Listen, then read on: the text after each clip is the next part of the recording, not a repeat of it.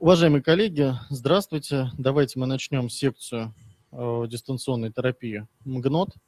Э, сегодня в рамках конференции «Актуальный вопрос терапии внутренних болезней» мы проведем такую, э, скорее это даже будет напоминать, как сейчас модно выражаться, пич-сессию, в которых мы просто расскажем и покажем, какие цифровые проекты э, есть и какие новые интересные наработки э, существуют. И чтобы вечером не сильно затягивать эту секцию, позвольте я начну сразу с первого же доклада. Секунду.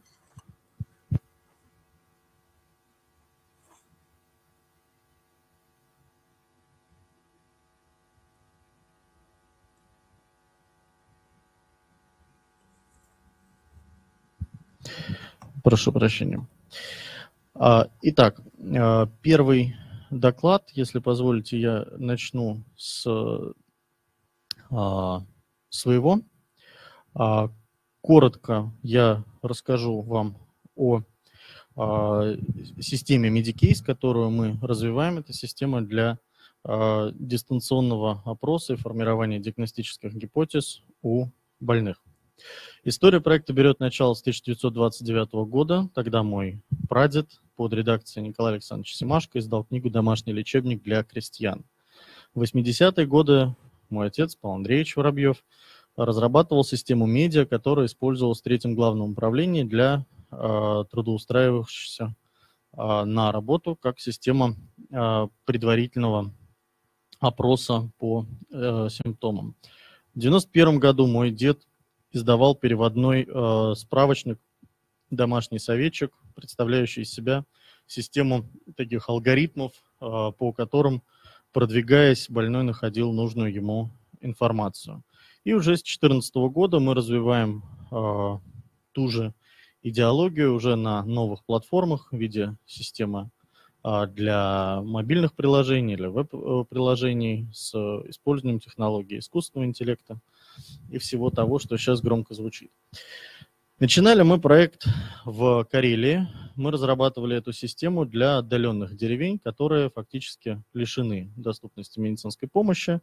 А, мы передавали в деревню вот такой вот набор медицинских датчиков, которыми больной может пользоваться самостоятельно. Это там тонометр, глюкометр, пульсоксиметр, термометр и смартфон, который, собственно говоря, и эти данные собирал, плюс опрашивал больного и формировал уже полноценную набор данных, которые дальше мы передавали после предварительной обработки системой а, врачу в Центральную районную больницу для принятия решений.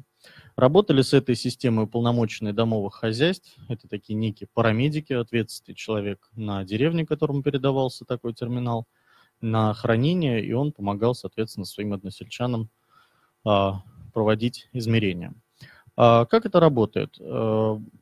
Система задает вопросы больному, на которые можно ответить только да или нет. Опрос строится по принципу древа решения, а, по заранее заданному алгоритму, которому мы систему обучаем. То есть это человека обучаемая э, система. Э, составление таки, такого опроса – это достаточно большая трудоемкая задача. Мы использовали методологию деловых игр Гельфанда – Дальше проводили валидацию опросников, анализировали чувствительность. Да, я попрошу других участников не переключать слайды, вы переключаете их у всех сразу. Спасибо. Вот. И также э, в дальнейшем для обучения уже модели искусственного интеллекта мы используем методологию Байесовского анализа.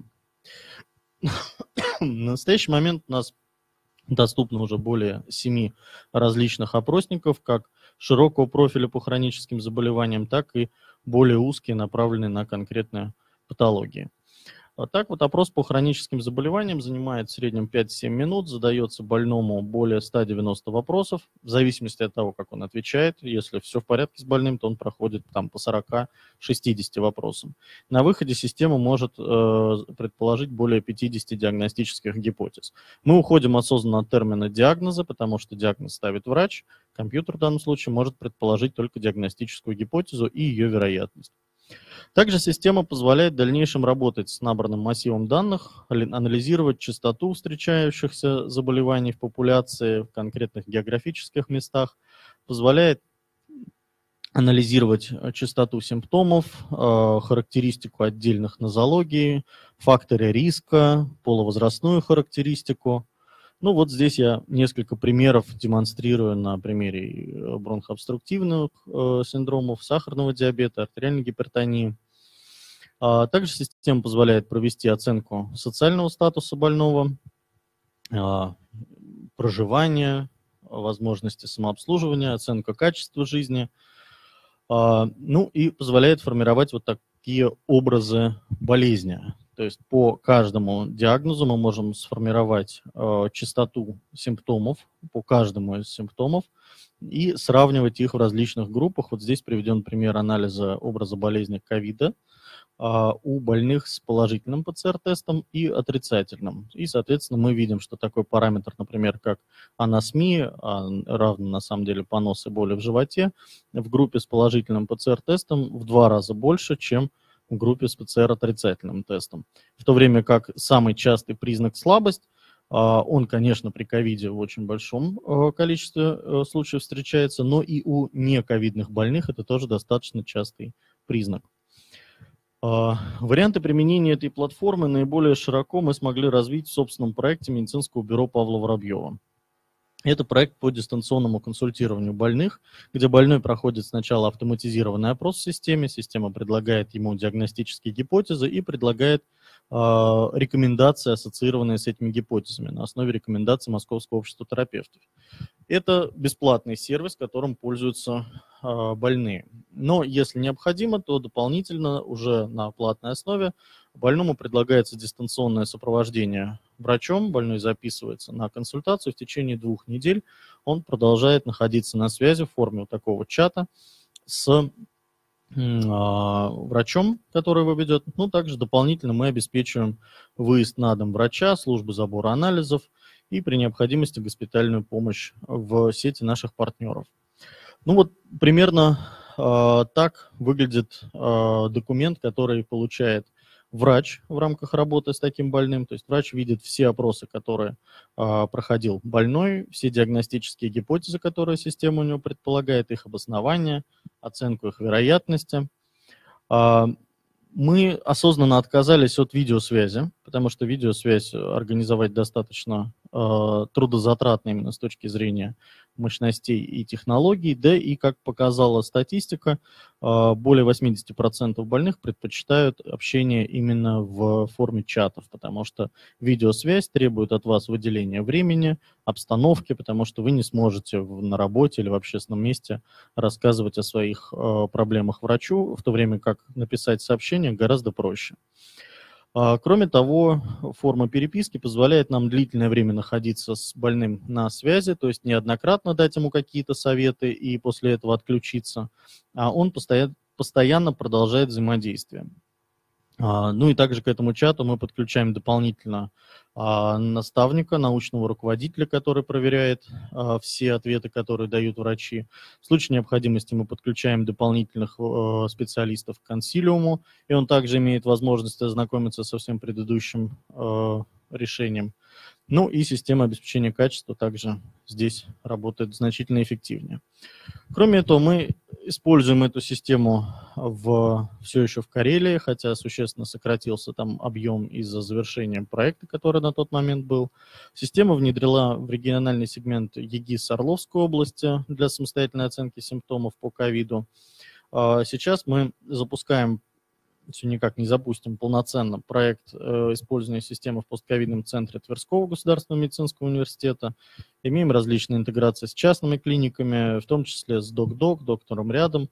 Хотя, конечно, я не могу назвать э, активным использование этой системы в рамках этих проектов.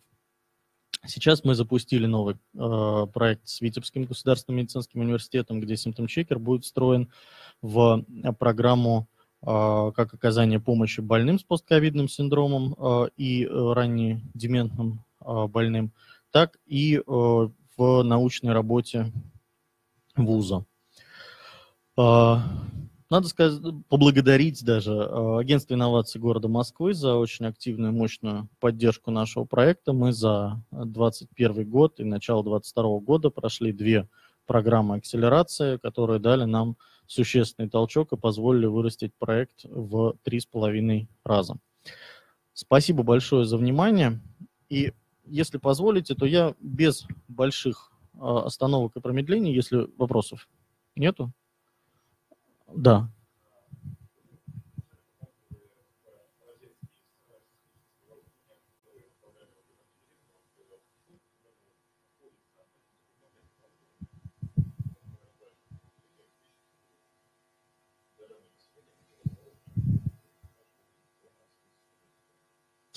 Спасибо за ваш вопрос. Я повторю его для интернет-аудитории. Вопрос о том, э, во сколько обходится кейс, который размещается в отдаленных деревнях, и насколько вообще это оправданно, я так понимаю, и затратно. Э, отвечу вам так. На самом деле э, вопрос интеграции. Можно сделать все очень дорого и красиво, но никто не сможет этим пользоваться. А можно сделать по самому дешевому формату, когда человек может провести измерение пусть даже ручным тонометром, если он умеет, хотя мы используем для этого самые простые тонометры, кноп, однокнопочные. И дальше этот результат перенести в телефон иногда руками. Начинали мы с использования Bluetooth э, устройств, которые подключались, интегрировались, мы получали с них данные, но на практике получилось, что пока этот Bluetooth работает, все замечательно. Но вот когда соединение прервано, вот дальше, получается, уполномоченный домового хозяйства в этой деревне должен там включить, выключить Bluetooth, сплясать с бубном, перезагрузить, подключить. Оно работает, оно не работает, плюс это еще интеграция, то есть не поймешь, на какой стороне тут начинается проблема.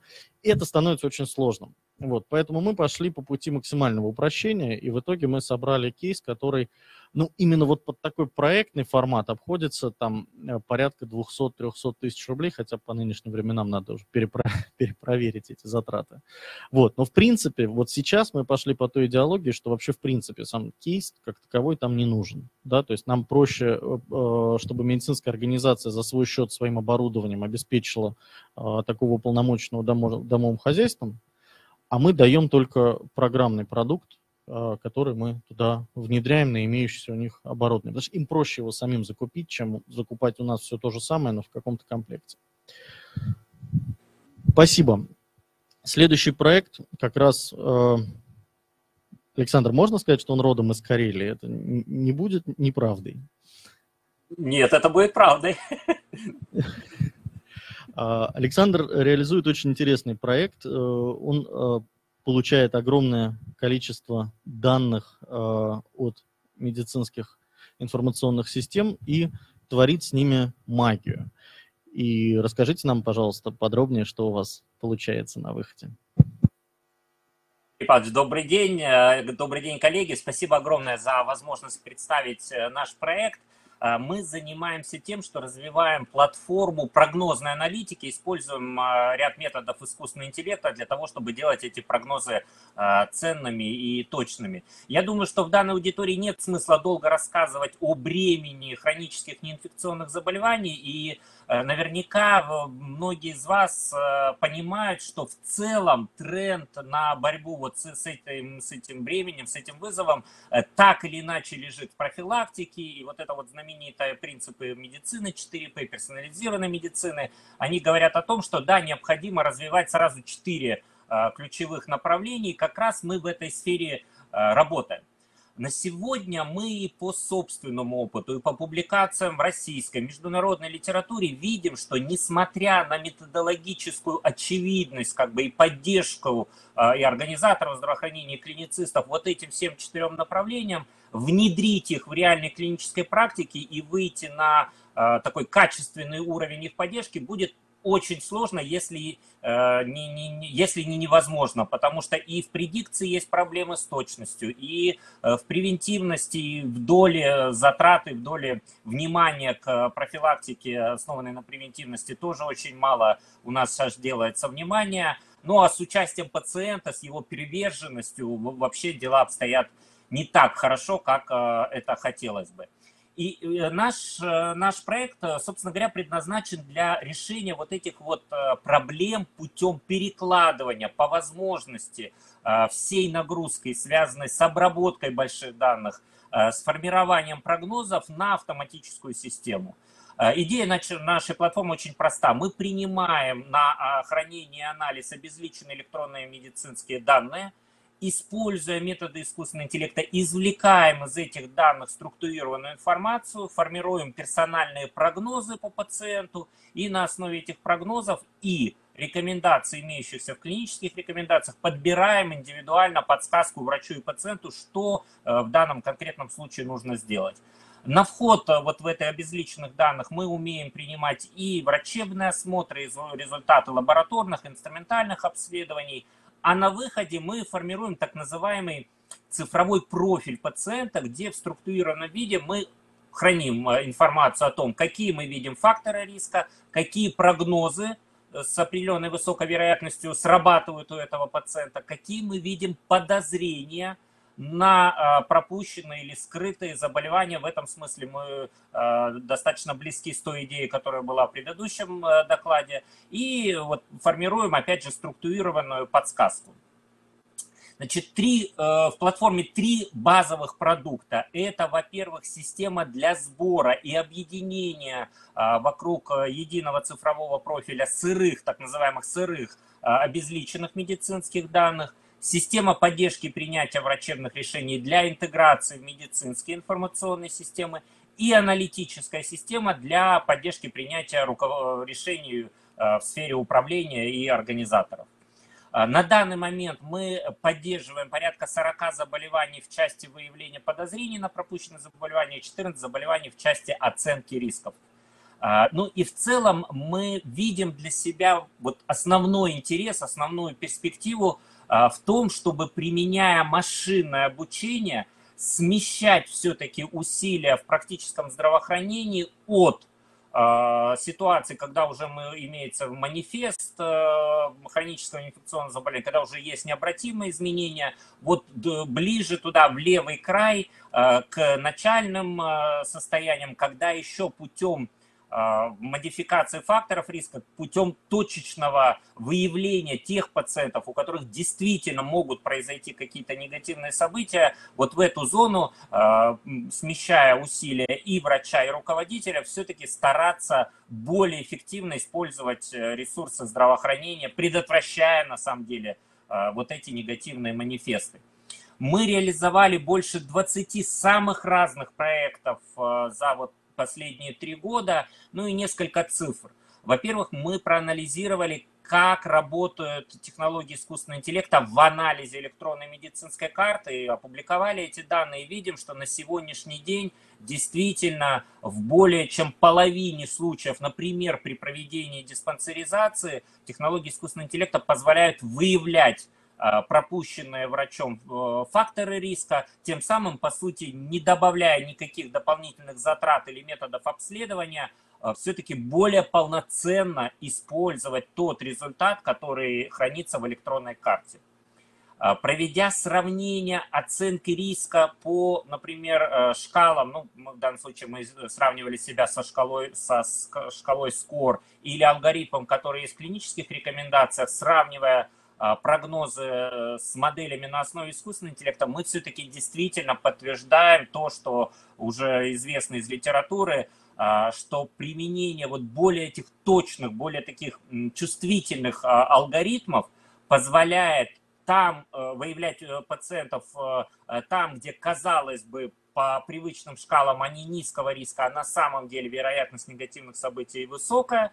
И наоборот, там, где у пациента на самом деле вероятность в ближайшее время какого-то манифеста низкая, не переоценивать его риск и не травмировать, не тратить ресурсы на вот такое необоснованное ведение. Ну и, наконец, интересный такой проект, э, который состоял в том, что мы э, проверяли, как э, система работает в качестве второго мнения, когда она в режиме онлайн перепроверяет результаты которые врач кодирует, например, по диспансеризации, с результатом, который получен э, в ходе машинной обработки. И вот эти проекты показали, что от 9 до 13 процентов случаев обращения в первичное звено э, мы детектируем как ошибочные в плане и постановки полноценного диагноза, либо определения группы здоровья. То есть это тот самый резерв, который действительно может быть полезен, как мы надеемся, интересен и организаторам, и врачам. На сегодня проект Webiomed – это полностью готовая платформа. Мы зарегистрированы Росздравнадзором как медицинское изделие, зарегистрированы Министерством здравоохранения как иная система. Мы считаем, что очень важно в продвижении вот таких э, сервисов, э, э как наш, э, все-таки соблюдать действующее законодательство. Это такой элемент формирования доверия ну и активно участвуем в различных конкурсах, э, активно сотрудничаем с партнерами, интегрируя свой продукт в проекты.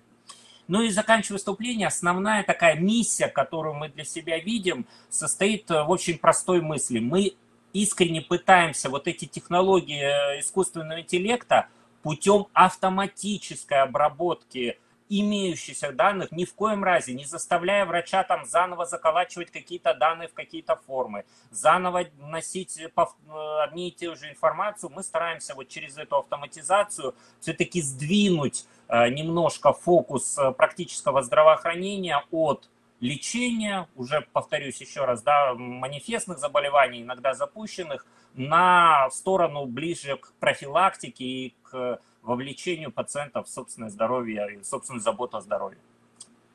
Спасибо за внимание. Спасибо, Александр.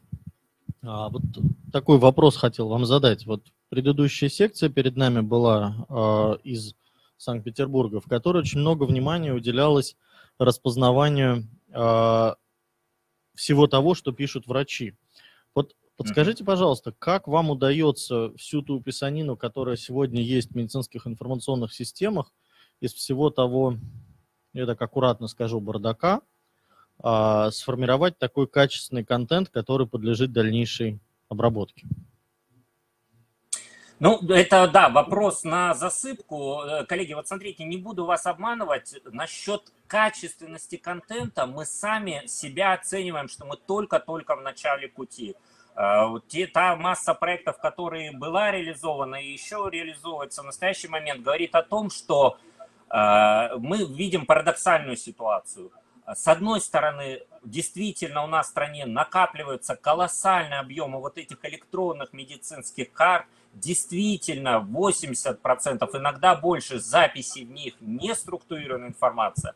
Действительно, технологии НЛП, например, позволяют извлекать эту информацию но говорить о том, что мы полностью доверяем ей, вот этому профилю, и, ну, пока преждевременно. То есть здесь что мы конкретно делаем? Во-первых, мы постоянно совершенствуем NLP-методы. Вот эти модели, да, которые анализируют э, текстовые записи, извлекают признаки. Мы постоянно исследуем различные технологии детекции выбросов, дубликатов, фальсификатов информации, повторного использования там за счет шаблонов и так далее. И здесь пока у меня ощущение, что ну, просто бескрайняя э, работа впереди состоит, когда мы действительно бы вот согласились с тезисом, что да, из сырых неструктурированных данных можно получать качественные э, наборы, качественный контент. А есть ли в России какие-то медицинские информационные системы, в которых данные настолько качественно структурированы, что их уже можно интегрировать в ваш сервис? Ну, во-первых, мы еще, будем честны, не со всеми системами интегрированы. Мы работаем сейчас, конечно, с лидерами, но тем не менее. Э, мы видим следующую ситуацию. Вы знаете, не все зависит от разработчика системы. Вот мы, имея много подключенных регионов, мы видим, как одна и та же медицинская информационная система одного и того же производителя – в одном регионе используется для достаточно полноценной, добротной ведения э, электронной медицинской карты, записи э, содержат подробное описание и так далее, до совершенно такого, знаете, вот просто вот э, три строчки внесли, и случай законченность закрыли, и нет никакого клинического контента в этих записях. То есть здесь я бы в первую очередь обратил внимание на вклад самого региона или самой медицинской организации. Да и даже самого врача. Ну, в итоге, да, конечно, именно так. Спасибо большое. У кого-то есть еще вопросы в аудитории? В онлайн-аудитории вроде бы тоже вопросов нет. Спасибо большое, Александр. Тогда мы Спасибо. будем двигаться дальше. А, следующий доклад у нас а, очный. А, Светлана Леонидовна Первых, медицинский директор компании MD Clinic, расскажет о том, как дистанционно можно реабилитировать больных и какова роль искусственного интеллекта в этом процессе. Пожалуйста.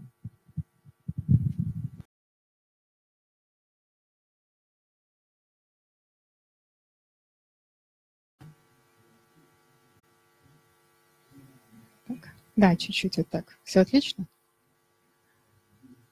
Пару секунд буквально, коллеги. Да, все отлично. Здравствуйте, уважаемый модератор, здравствуйте, уважаемые коллеги. Я, наверное, в продолжении темы предыдущих докладчиков немного расскажу о нашем опыте применения, в том числе искусственного интеллекта, для возможности реабилитации пациентов. Ну, не секунду, у нас... Ага. Да-да-да, я поняла, благодарю. Ни для кого не секрет, что сейчас активный искусственный интеллект, особенно с учетом пришедшей пандемии, внедряется в нашу практику, в клиническую практику врача. Анализ снимков, конечно же, КТ, МРТ, принятие решений, помощь, третейская и судья – и так далее. Применение различной роботизированной технологии в виде робота да Винчи.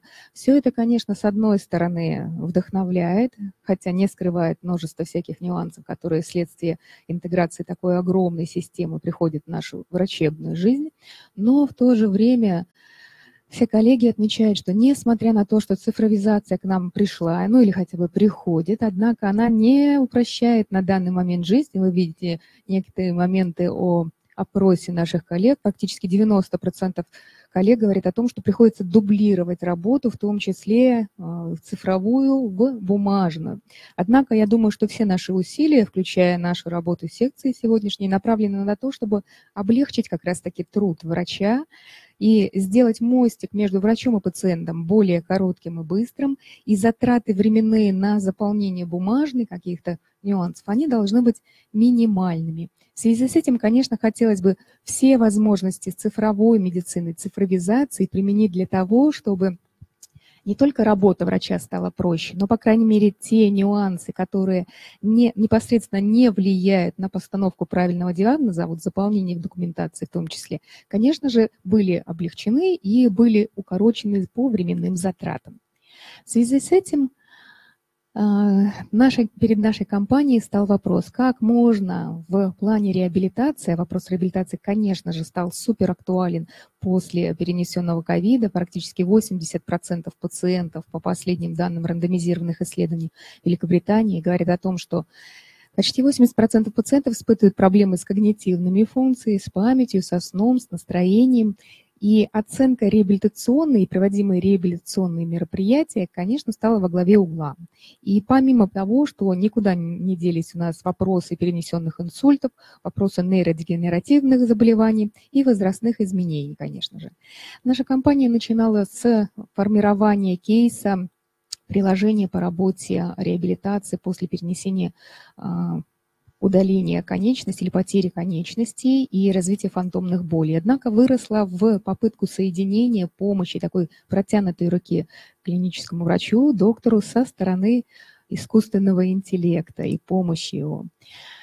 Какие варианты реабилитации, какие варианты диагностики может предложить наша компания и это приложение? Прежде всего, это возможность первичного так называемого чекапа, а, первичного обследования, но не в рамках, конечно же, клинического осмотра врача, а в рамках определенного опросника, непосредственно направленная на выявление трех важных составляющих. Это речевую функцию, когнитивную функцию и моторика верхнего плечевого пояса. Еще раз подчеркну о том, что множество первичных факторов, которые вызывают повреждение когнитивных функций, речевой функции, и, конечно же, моторики, здесь мы не выделяем какое-то конкретное узкое направление, мы идем больше в сферу реабилитации. Увы, это звено у нас претерпевает, пожалуй, максимальное скажем так, деградацию в связи с тем, что основные силы медицинского сообщества были брошены на борьбу прежде всего с пандемией и с привычным вирусом, а затем уже последствия, которые до сих пор мы еще, скажем так, не выяснили, и нам предстоит их только узнать. Конечно же, они только начинают сейчас проявляться, накапливается информация по им, накапливается большое количество отчетов, предположительных моментов о развитии патофизиологических и патоморфологических причин того или иного осложнения или последующих революционных моментов. Но в связи с тем, что реабилитационное звено в России, Российской Федерации у нас несколько стагнировано из-за малого количества профессионалов, из-за малого количества специалистов, а нагрузка на это звено колоссальная, конечно же, хотелось наладить небольшой мостик между практикующими врачами, практикующими специалистами и пациентами, и разгрузить хотя бы звено поликлиническое, понятно, что не пациентов, которые находятся в стационаре, не том в тяжелом состоянии, когда они, ну, скажем так, не способны даже к самообслуживанию, а больше все-таки это программа пациентов, которые находятся уже либо на дневном наблюдении, либо это уже реабилитация в рамках амбулаторного звена. Возможная автоматизация системы, она отлично проговорена коллегами, выше вот предыдущие великолепные доклады. Мне очень понравилось а, великолепно, мне кажется, даже надо запатентовать эту ситуацию, диагностическая гипотеза, более правильно характеризующая а, применение различных приложений и программ. Ведь мы не ставим диагноз, диагноз действительно прерогатива клинического врача, клинического специалиста. И нужно понять, что мы ни в коем разе не ставим себя в оппозицию докторам, ни в коем разе не противопоставляем и даже не конкурируем. Все это все наши приложения, все наши разработки направлены на то, чтобы поддержать врача, дать ему первичную информацию о пациенте, так называемый, по сути, чекап провести небольшой, относительно узкой области, требующей или, наоборот, не требующей реабилитации и внимания доктора, внимания специалиста, для того, чтобы время, которое он потратит на те же самые нейрофизиологические тесты, нейропсихологическое тестирование, ММСЕ-тесты, оно было сокращено за счет прохождения с помощью нашего приложения компаний, тем самым сокращая время на, скажем так, рутинную работу и позволяя больше уделить внимание уже клиническому исследованию, дополнительным, возможно, методам, позволяющим, конечно же, полностью сформировать персональную программу реабилитации. Исключает ли наше приложение работу врача? Ну, конечно же, нет. Оно только ее дополняет, иногда выступая в роли третейского судьи, помогая врачу склонить а, в ту или иную сторону и лишая, по сути, его, ну, по крайней мере, стараясь лишить его той самой рутинной работы, о которой спотыкается большинство наших коллег. Небольшая, прошу прощения, пауза. У нас технически что-то завис. Ага, можно вас попросить? Что-то у нас не переключается. Ага, благодарю вас. Конечно же, мы используем, как и предыдущие докладчики говорили о том, что нейросеть, искусственный интеллект, вообще алгоритмизация всей системы обработки вступающей информации от пациента, начиная от опросника, заканчивая теми тестами, которые он проходит. Так, какие тесты проходит в нашем случае пациент? Прежде всего, для того, чтобы пройти эти тесты, ему необходимо, конечно же, доступ в интернет и хорошая камера. Не скажу, что большими техническими требованиями подойдет стандартная, с которой связывается у нас сейчас и достаточно взрослое поколение через Zoom, через Skype со своими родственниками, поэтому этого будет достаточно, не нужно какого-то супер ноутбука или суперкомпьютера. Тем не менее, наше приложение VIA, которое первично лично даст нам знать о состоянии пациента, требует, однако, доступ к интернету. Это, да, действительно проблема, если мы говорим о, а, к примеру, труднодоступным поселкам, да, но не проблема. Но если это решаем, это, это прям чудесно. Тем не менее, это, к сожалению, не тот тревожный чемоданчик, который мы могли бы передать да, в отдаленные поселки, где нет никакой связи. Но мы надеемся, что со временем эта проблема тоже у нас решится. Или вопрос, да, я думаю, что все, что можно решить, да, то это не вопрос, э, вернее, не проблема, это достаточно вопрос. Небольшое буквально заполнение со стороны пациента первичных входных данных и затем доступ к распозна распознавающим трем главным составляющим – когнитивным, речевым и моторным моментам. Когнитивные составляющие включают в себя вопросы, ответы со стороны пациента, включая не только простые «да» и «нет», но и сложные достаточно ответы, которые требуют не только размышлений, выбора, но и составления логических цепочек, аналогов, составления синонимического ряда и так далее.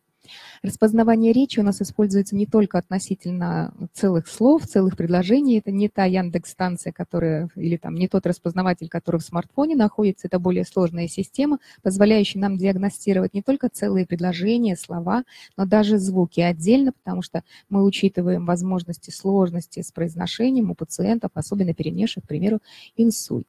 А хочу обратить ваше внимание на еще один наш раздел «Компьютерное зрение». Нам необходим был этот, а, этот раздел для того, чтобы пациенты с нарушением моторики, особенно мелкой моторики, моторики верхнего плечевого пояса, да, к сожалению, на данный момент мы еще с нижним поясом вопрос не решили, тем не менее, вопросы движения верхнего плечевого пояса, вопросы движения рук, а мы помним, да, насколько важна мелкая моторика вообще в развитии не только самообслуживание у пациентов, перенесших какие-либо тяжелые непосредственно или влияющие факторы, которые влияют на самообслуживание в том числе, но и возможности формирования речи за счет а, активной моторной стимуляции, мелкой моторной стимуляции. В том числе компьютерное зрение помогает нам в этом. На данный момент мы способны идентифицировать не только движение пациента в суставе запястном, в суставе локтевом, плечевом, но и мелкую моторику относительно пальцев и мелкую моторику не только относительно пальцев, но мы фиксируем в том числе движение глаз, в том числе непроизвольные, расширение зрачка также. Нам эти данные необходимы, так как мы в последующем планируем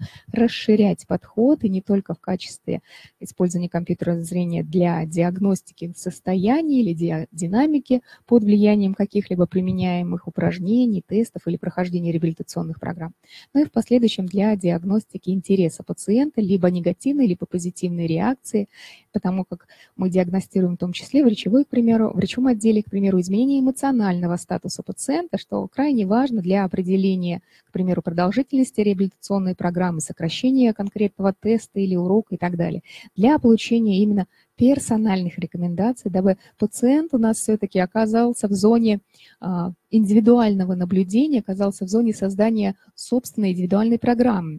Вот на прошедшем э, буквально 19-20 мая а, конгрессе Оргздрав много говорилось о том, что цифровизация пришла для того, чтобы создать индивидуальный, по сути, кабинет каждого пациента. Так, на, на наш взгляд, вот это создание индивидуальной программы реабилитации, индивидуальной программы развития – это шаг или, скажем так, кирпичик в той стене развития дома этого самого индивидуального кабинета. Конечно же, никуда сейчас без машинного обучения, без э, собрания огромного количества данных, ибо только этот вариант – позволит нам говорить о том, что да, наша работа действительно не просто там зафиксирована, не просто соответствует клиническим рекомендациям или международным каким-либо протоколам и требованиям, но она имеет и жизнеспособность, и работу в том числе. На данный момент наше приложение проходит э, регистрацию для получения регистрационного удостоверения. Мы прошли также клинические а, испытания в одной из больниц. И надеемся, конечно, на позитивный исход, несмотря на продолжающиеся негативные бури, которые сотрясают в том числе и наше государство.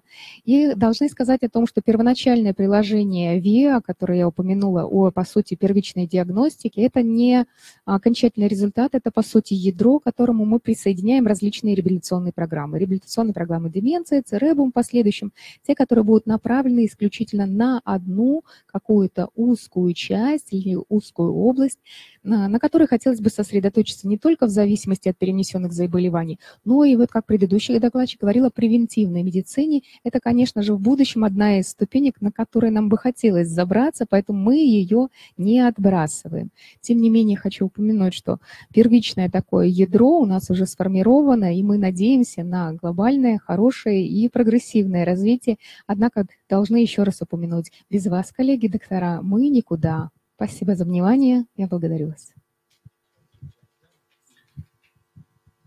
Если будут вопросы, я отвечу. Да, спасибо большое. А, есть ли вопросы у кого-нибудь? Я могу поделиться собственным опытом. Мне довелось попробовать воспользоваться вашей системой.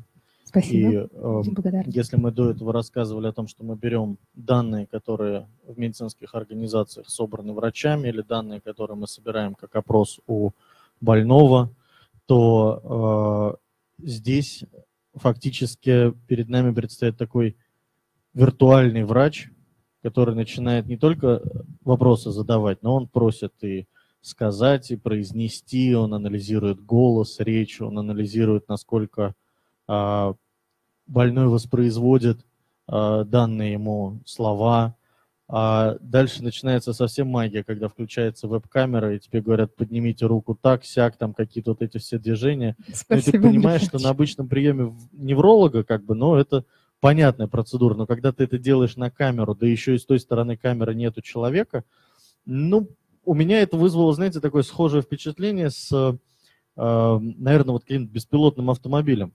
То есть мы вроде все понимаем, что как бы, ну, это не очень сложная технология, что, в принципе, распознавание образов уже есть, уже компьютерное зрение сделано, и вроде как и данные также мы все собираем. Но вот когда это собрано в такую вот пользовательскую, э, ну, я скажу игрушку, да, хотя мы понимаем, что это на самом деле совсем даже не игрушка, то выглядит это очень эффектно.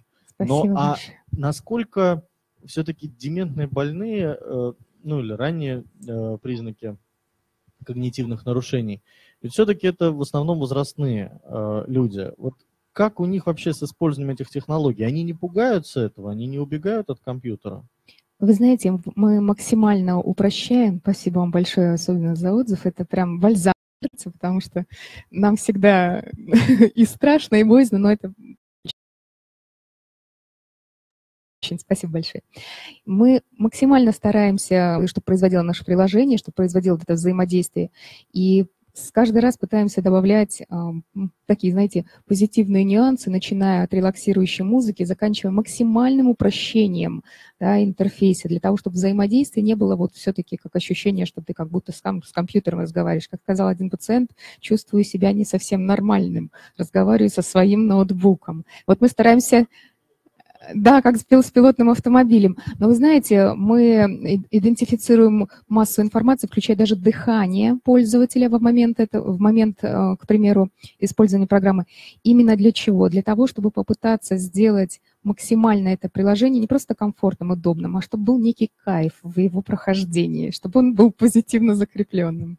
Ну вот, будучи молодым э, и здоровым, я ощущаю этот кайф. А вот как себя пожилой будет при этом чувствовать, ох, не знаю. Но, ну, с другой стороны, у нас с чего-то начать. Дефицит врачей там несколько сот тысяч, мы их нигде не найдем, поэтому никакой замены им, кроме как э, искусственным интеллектом, да, у нас да. не будет. Благодарю вас. Так, в онлайне вроде бы вопросов есть нет. Есть вопрос. Нет, есть один вопрос. Есть. Давайте. Да, спасибо большое за такое интересное выступление. Я на самом деле попрошу вас посмотреть э, нашу презентацию, потому что вот в части того, что вы делаете, э, наши алгоритмы и подход может быть вам полезен в части как раз контроля мелкой моторики э, и контроля, в принципе, движений костного скелета человека как такового. Спасибо большое, мы всегда и за коллаборацию. Да, вот всегда. Благодарю. Денис, раз уж вы э, с таким вопросом выступили. Вы, собственно говоря, стоите следующим в программе, поэтому я вас представлю. Кузнецов Денис Олегович, компания Bimar Systems, а, компания, которая занимается а, разработками для космических технологий, для строительных площадок, для абсолютно, казалось бы, таких технических решений. И выступают они сегодня на на медицинской конференции. Казалось бы, как это может быть связано? Послушаем Дениса. Да, я, а, с вашего позволения, тогда начну трансляцию демонстрации. Пожалуйста, подтвердите, что вы будете видеть кадры. Видна ли вам картинка? Да. Да.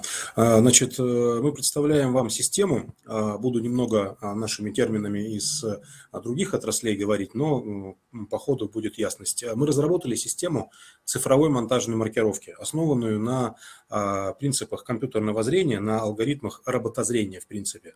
Изначально создаем ее для строительства комплексно, но по ходу разработки стало ясно, что ядро алгоритмов применимы в широком спектре как промышленных отраслей, и в том числе э, в космической э, отрасли, и так и применимы в медицине.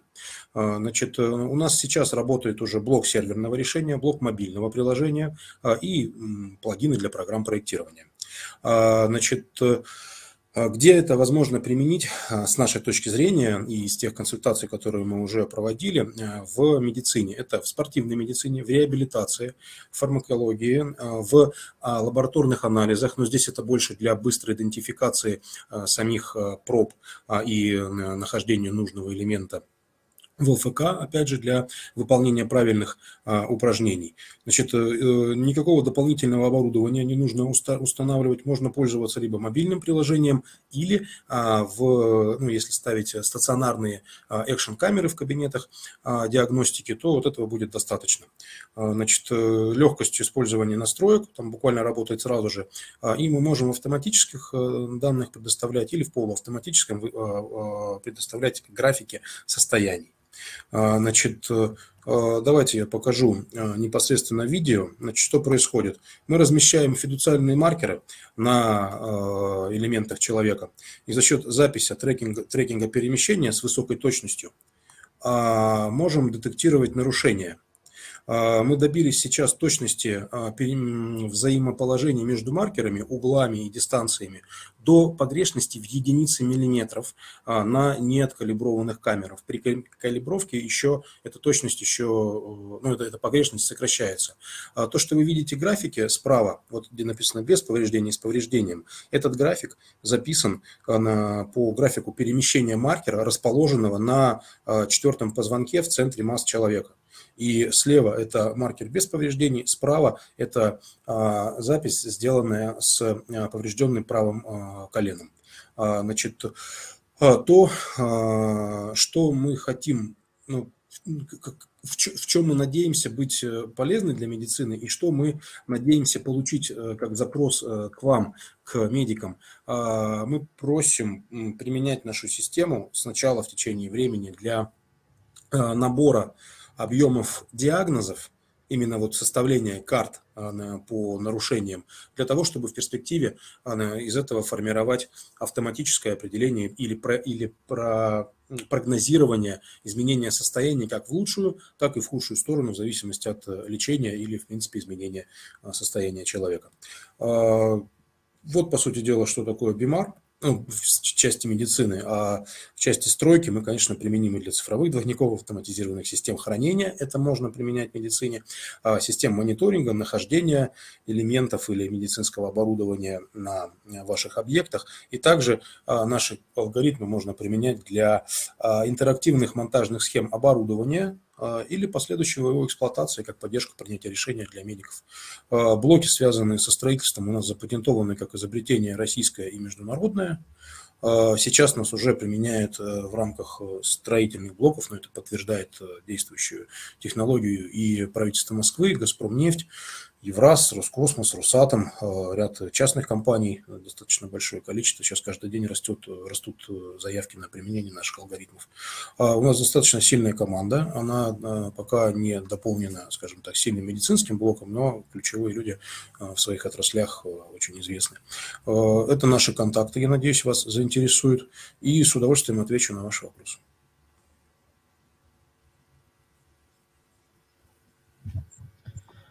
Спасибо большое.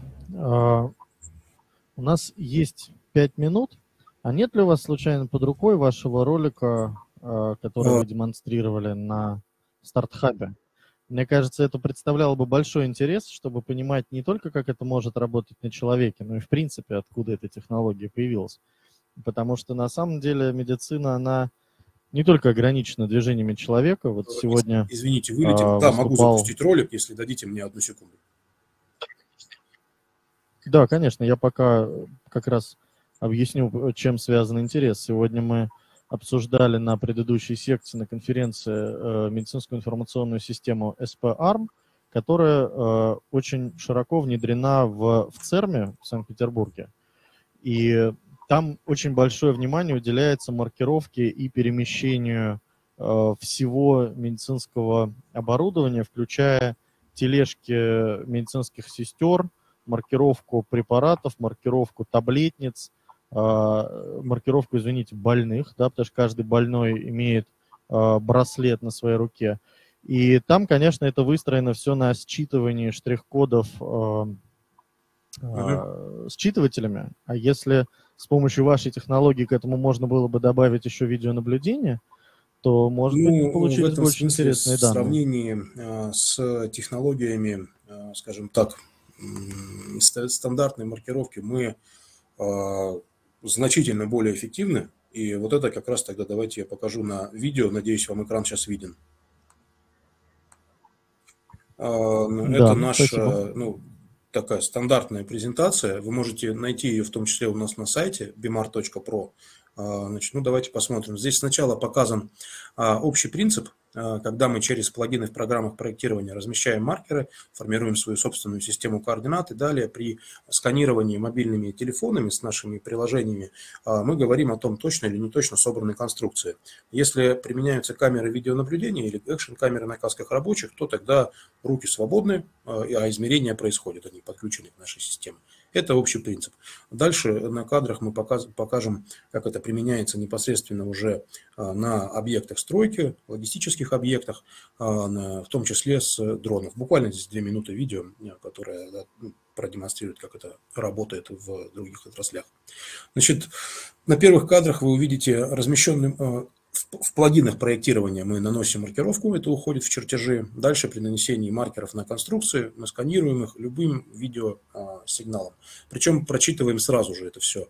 Интерактивные монтажные схемы, которые можно применять и для подсказок контроля оборудования, как собрать, и строительства. Вот здесь, обратите внимание, мы сканируем маркировку на рабочих с дистанции в десятки метров. Это предварительная исполнительная съемка, когда совершенная ошибка сразу же уходит в чертежи, а, без постобработки, контроль ношения средств индивидуальной защиты, контроль выдачи инструментов.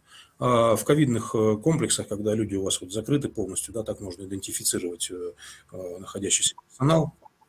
Я, простите, пожалуйста, я правильно сейчас увидел, что сотрудник взял, ну, вы оставьте видео, я параллельно просто вопрос задам. А, сотрудник берет набор инструментов, а по видеонаблюдению считывается код на его жилетке и код на наборе инструментов, и таким образом... Да, это отдельный кейс, который изначально у нас попросил сделать Росатом. А, соответственно, мы это выполнили, но сейчас уже добавляем интерфейсы непосредственно этих модулей нашей системы, когда таким вот простейшим ну, решением по дистанции выдачи э, сотруднику инструмента фиксируется, что он у него. Он, соответственно, и когда он сдает, обратно же в мобильном приложении тоже буквально нажатием одной клавиши говорится о том, что он его сдал, либо он его укладывает на полку и сканирует. Это там считанные секунды а, занимает. Это уже работает, да. Эти кадры вот как раз с беспилотников, это дистанция почти 100 метров, 98 а, до маркера размером полтора на полтора сантиметра. С зумом происходит сканирование, идентификация. Можно передавать э, данные как задачи, то, что нужно сделать с каждым элементом. То есть, по сути, а, система BIMAR – это разработанная система поэлементного контроля, а, при этом а, с правильностью положений и изменения их во времени или в процессе сканирования. Впечатляющая технология, хотя, казалось бы, достаточно тоже простое решение, да, так вроде бы ничего принципиально нового, но то, как это все работает э, в реальности, оно, конечно, впечатляет. Мы как раз э, с Денисом Олеговичем познакомились в рамках московской акселерационной программы Start Hub Moscow. Вот. Ну и вот видите, постепенно тоже да, развиваем. Здесь, наверное, можно немножко дополнить, если ну, будет заинтересованность. Мы, мы стали резидентами Сколково в том числе, и сейчас а, можно рассматривать программы финансирования со стороны Сколково, закупки нашего программного обеспечения для различных применений, поэтому а, здесь э, грантовая поддержка государства сейчас может быть очень эффективна для а, формирование бюджетов там, до 80% готовы э, грантами выполнять на внедрение. То есть что в рамках бюджетов э, медицинских организаций будет крайне эффективно э, за счет заявок. Спасибо большое, Денис. А, ну, давайте мы будем тогда двигаться дальше по нашей программе. А, следующий проект также не обошел мимо технологий компьютерного зрения, но дополнили их большим количеством а, очень интересных технологичных решений. И этот проект будет э, гораздо более э, медицинский, я бы даже сказал, лабораторный. Э, Жалялов Ансар Айсарович, кандидат биологических наук, представит нам проект Сели AI по автоматизации лабораторий и микроскопии при помощи искусственного интеллекта. Андрей, спасибо Ансар, за представление, за приглашение. Меня слышно? Все, супер. Да, да, все прекрасно. Тогда поехали. Ну, прежде чем рассказывать про искусственный интеллект, а, немножко а, вводная часть, терминология, а, что подразумевается под основными терминами. Значит, искусственный интеллект – это, в принципе, любые алгоритмы, имитирующие поведение человека. Машинное обучение – это подгруппа ИИ алгоритмов, способных к повышению точности за счет обучения. А нейросети, вот о которых сейчас говорят, это уже подгруппа алгоритмов машинного обучения, архитектура которых схожа с человеческой нейронной сетью. То есть там тоже есть нейроны, есть связи между ними. И почему, собственно, а, так а, популярны сейчас именно нейросети? А благодаря своей похожести на человеческий а, мозг, эти нейронные сети обладают возможностью решать ряд задач, с которыми раньше справлялся только человек. И это открывает возможности для автоматизации целого ряда направлений. Немножко про прогресс искусственного интеллекта. Э, сама технология начинается в середине 20 века, и ученые уже тогда э, задаются вопросом, может ли машина думать. Э, далее э, технология находится на теоретическом уровне до 90-х годов, когда начинается эра интернета. И вот после этого а, сама технология, во-первых, активно развивается и теоретическая база, во-вторых, начинается применение уже в практике. Например, а, всем известные спам-фильтры. А, далее происходит ряд знаковых событий, в частности, когда IBM Deep Blue обыгрывает э, гроссмейстера Гарри Каспарова в шахматы. И, в принципе, на мой взгляд, это был переломный момент, и после этого многие люди уже не сомневаются в том, что искусственный интеллект способен автоматизировать, э, в принципе, любую задачу. А, но это было, был период суперкомпьютеров, когда для того, чтобы а, сделать себе, натренировать искусственный интеллект, а, требовались огромные вложения. Сейчас мы живем в период, когда искусственный интеллект выходит за пределы интернета. То есть технология начинает выходить в реальные сектора, в строительство, в космос, в транспорт, и медицина не исключение. Если мы посмотрим на количество продуктов на основе искусственного интеллекта, которые получили одобрение FDA, американского регулятора, то э, мы наблюдаем активный рост э, таких продуктов с 2018 года. Э, рост продолжается, то есть э, технология уже показывает, что она работает, э, прошла все необходимые клинические испытания и внедряется в практику. А, небольшой обзор, какие основные сейчас есть направления по искусственному интеллекту. А, во-первых, это анализ изображений. А, здесь э, огромное число медицинских направлений. Это и радиология, офтальмология, стоматология. То есть, когда программа анализирует картинку или множество картинок и определяет необходимые паттерны. Ну, например, определяет поражение коронавирусом в легких, или кариесы, или что-либо еще. То есть то, что человек смотрит на, на изображение, то же самое а, сейчас умеет делать а, нейронная сеть. А, следующая группа продуктов – это продукты на основе распознавания речи, так называемые AI-ассистенты. Ну, самые известные пользовательские ассистенты – это Siri, Alexa. Есть также ряд ассистентов, которые заточены на медицинскую терминологию. И задача перевод аудиофайлов а, в текст. Отдельное применение распознавания речи – это AI-диспетчер, то есть когда Э, мы звоним в колл-центр, и с нами разговаривает не человек, а машина.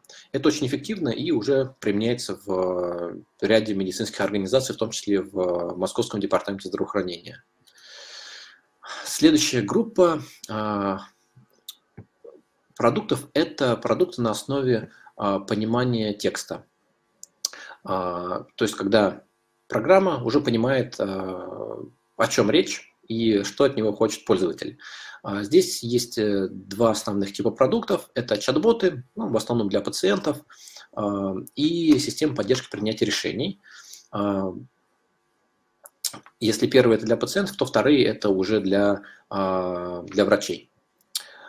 Плюс есть направление по искусственному интеллекту – это разработка лекарств. В частности, в прошлом году вышла публикация, что последние алгоритмы на базе искусственного интеллекта а, могут а, невероятно точно предсказывать, как а, будет происходить фолдинг белка, то есть превращение одномерной цепочки в трехмерную структуру. А мы знаем с биохимии, да, что а, у белков а, именно трехмерная структура задает все, а, все ее биологические свойства. И, значит, вы можете сказать, ну, хорошо, вот эта технология, она классная, очень красивые слайды, но это где-то там применяется, что-то... Но когда это дойдет до массового рынка, а, неизвестно. И я вот вам а, скажу вот что. А, сейчас технологии развиваются экспоненциально. То есть с каждым годом скорость развития и внедрения технологий, она растет. И поэтому те наши, даже самые оптимистичные предположения, как правило, являются заниженными. И мы не успеем глазом моргнуть, как а, вот эти вот технологии на переднем крае науки а, окажутся уже в обычной клинической практике. И, в принципе, вот если из моей презентации вы запомните только этот слайд, то значит 90% пользы вы получили. А, скорость развития технологий растет. Растет почему? Потому что новые технологии ускоряют внедрение следующего поколения технологий. Что происходит по части железа? А, железо эволюционирует в сторону мобильности. А, то есть если мы посмотрим на первые вычислительные машины, это такие огромные шкафы с кучей проводов, лампочек, а, для обслуживания которых требовались целые департаменты, то далее это все перешло в персональные компьютеры, и уже в 2000-х годах большая часть вычислений происходит на смартфонах. И по мощности современные смартфоны не уступают суперкомпьютерам прошлого века, и мы видим, что а, вот этот тренд а, в сторону компактности, он а, идет в параллель с повышением мощности и снижением стоимости решений. И наше видение состоит в том, что именно смартфоны послужат катализатором внедрения искусственного интеллекта в производственные процессы. И в качестве реализации данного видения мы разработали AI-микроскоп – а, микроскоп состоит из айфона, из линзы-адаптера, при помощи которой iPhone подключается к стандартному микроскопу, и роботизированной платформы. Значит, эти модули подключаются к лабораторному микроскопу и превращают его в цифровой сканер. Как это работает? Система сканирует микропрепарат, приложение при помощи нейросети классифицирует клетки, и врач получает результаты на веб-портале небольшое видео.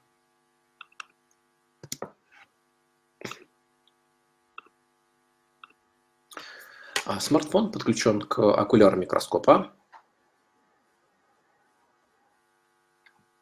Ну, собственно, столик, который э, перемещает микропрепарат, и приложение при помощи компьютерного зрения определяет э, лейкоциты в данном случае, она их классифицирует, подсчитывает. Кроме этого, приложение оцифровывает микропрепарат, делает цифровой снимок. Далее врач заходит на веб-портал, не нужно никакие приложения, просто обычный веб-браузер, и может посмотреть оцифрованные э, снимки, может добавить комментарии. Это как вот выглядит наш роботизированный столик. Это интерфейс портала. Вот, и помимо оцифровки можно посмотреть результат а, классификации клеток. Система сама посчитала все клетки, расклассифицировала лимфоцит к лимфоцитам, нейтрофил к нейтрофилам, а, подготовила отчет, формирует его в формате PDF или же автоматически сохраняет в лабораторной информационной системе. Вот, то есть это чистейшая оцифровка и автоматизация процесса микроскопии. Что э, происходит для лаборатории? Лаборатория переходит э, от ручной микроскопии к автоматической. Э, мы провели клинические испытания, мы сейчас находимся в фазе пилотов с нашими партнерскими лабораториями.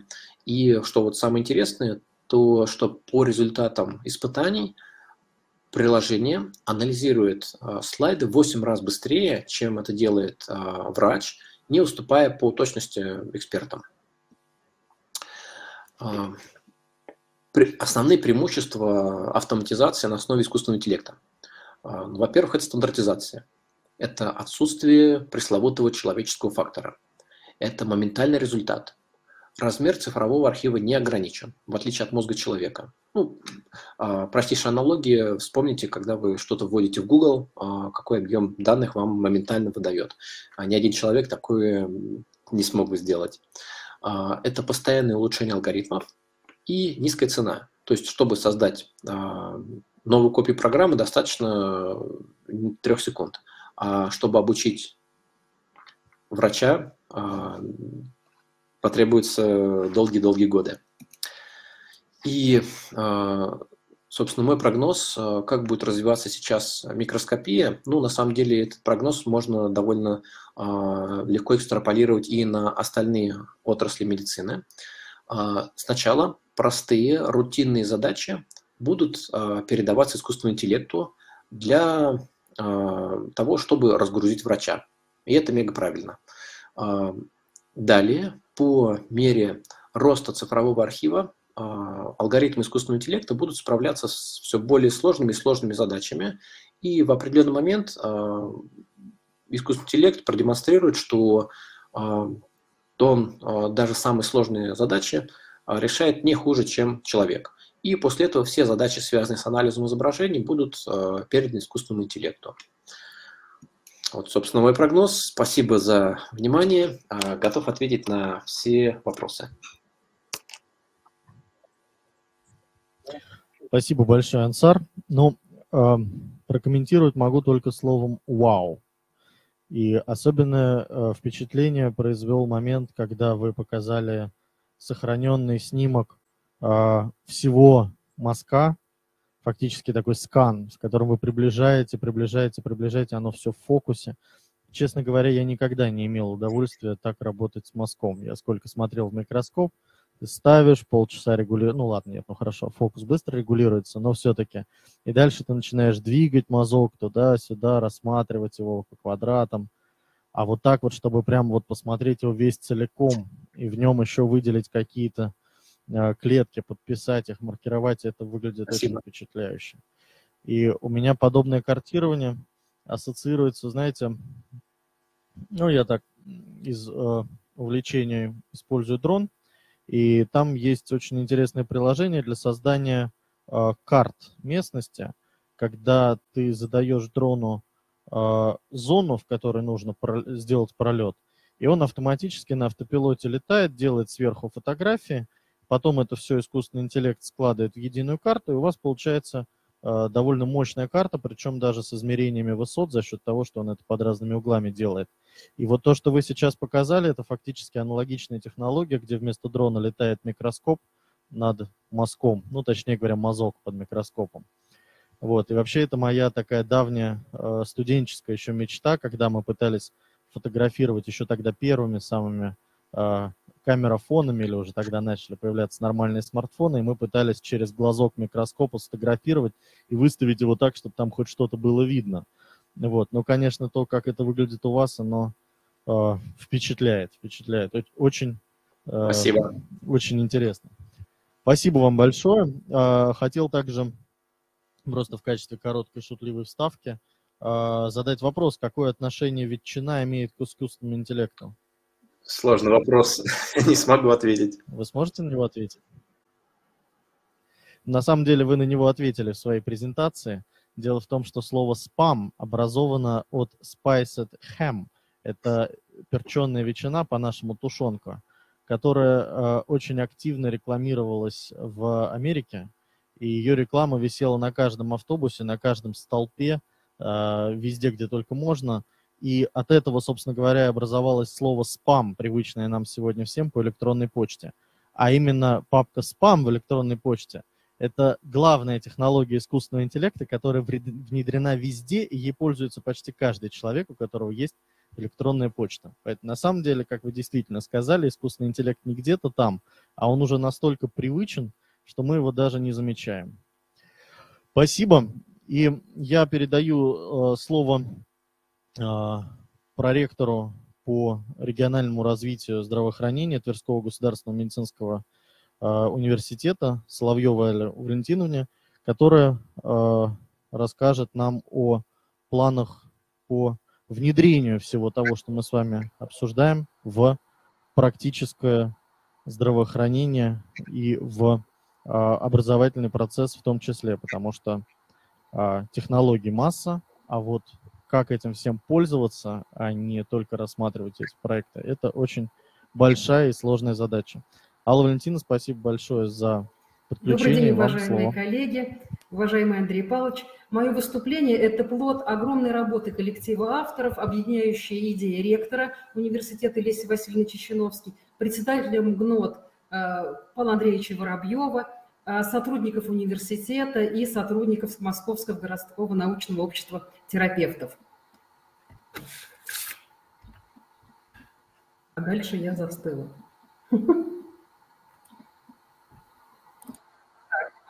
Хорошо. Мы видим Но в настоящее время, конечно, общество уже в целом, наверное, преодолело предубеждение против дистанционных цифровых методов обучения и э, оказания медицинской помощи. И здесь нам в кавычках скажу, помог ковид, но тем не менее, как только эта эпидемия началась, буквально через месяц-два уже все врачи, э, медицинские работники, пациенты поняли, что без цифры Э, без дистанционного э, взаимодействия нам уже дальше взаимодействовать нельзя. И вопрос скорости развития цифровых технологий уже не стоит, стоит вопрос частоты смены технических, технологических парадигм, которые напрямую меняют нашу жизнь. Неприятие технологий не может повлиять ни на их развитие, на их развитие, потому что хотим мы того или не хотим, эти технологии развиваются и будут развиваться. И то, что технологии меняют нашу жизнь сегодня, это уже факт, факт неоспоримый и давно доказанный. Сейчас э, в наше образование, в наши университеты пришли дети 21 э, века, и на их становление э, реально очень большое влияние оказал интернет. Это так называемые цифровые дети. И если мы говорили, что дети 90-х годов воспитаны телевизором, сейчас мы говорим, что это дети, воспитанные интернетом они делают, думают все по-другому, их мысли, поступки, все происходит э, через призму новых технологических решений. Эти дети не смогут уже воспринимать по бумажным учебникам ту информацию, которую мы им даем. И это поколение для того, чтобы вырастить качественное поколение врачей, конечно же, это поколение должно э, использовать для обучения этих детей должно, должны быть новые технологии, новые внедрения и в образовательный процесс. Ну, в Тверском медицинском университете ежегодно обучается около 4,5 тысяч обучающихся. У нас сейчас 7 факультетов. Надеемся, что в следующем году их будет 9. Э, около 60 кафедр, 59 отдельных структурных подразделений. У нас есть свой редакторско-издательский центр, который выпускает два научных журнала и газеты. У нас две клиники, стоматологическая и общемедицинская. И есть стационар, где проводятся высокотехнологические э, медицинские операции. А, и, конечно же, мы очень большое внимание уделяем